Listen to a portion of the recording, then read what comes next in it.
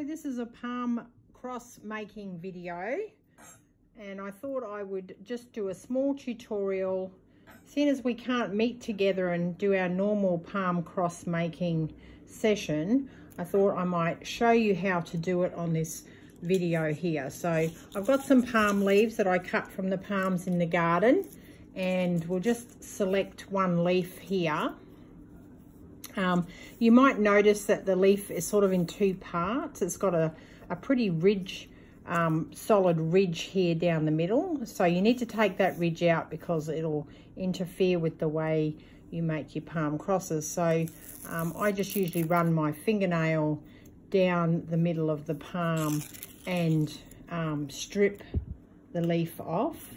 And then you've got the leaf here. So you just need one half of it per cross. And you, um, I like to have it with the, the thin end on the left and the thicker end on the right, but you can have it however you need to have it to make it work for you. So if you sort of take the middle of the leaf, just in the middle of your hand here, and you need to take the right hand side and fold it up to the sky. So you need to make a right angle and sort of, see, see that? It's sort of bent over, makes a triangle shape, and it's just a right angle straight up like that. We're, we're making the knot which holds, see if you have a look here, we're making the knot that holds the cross secure.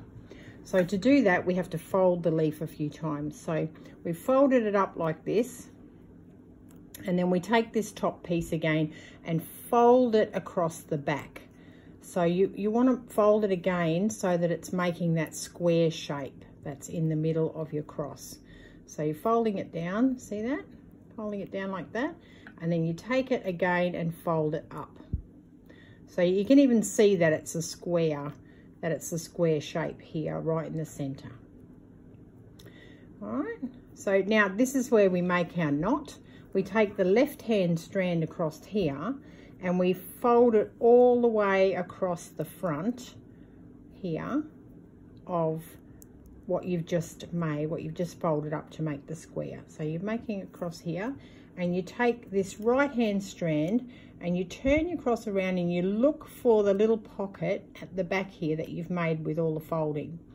And you thread this left hand piece through this little pocket in the back it's fiddly, I know. Through this little pocket in the back. Slide it through. See it's in there? See it's in there now? Sliding through there. And you just pull it through, all the way through, and pull it nice and tight. And then you've got this really nice, tight little square right here. And it's all secure. It can't pull, pull apart. And that's the foundation of your cross there. Then you take this top part up here. I'm going to make the top of the cross.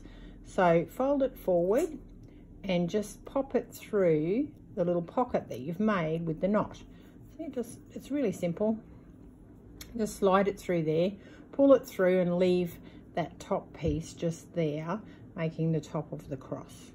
Then you take this side arm here and you're going to do the same thing you did before and you're going to grab it here, turn it back on itself, find the little pocket at the back again and poke it through. So nice and strong there through there and you're pulling it through, you're making the side arms of the cross.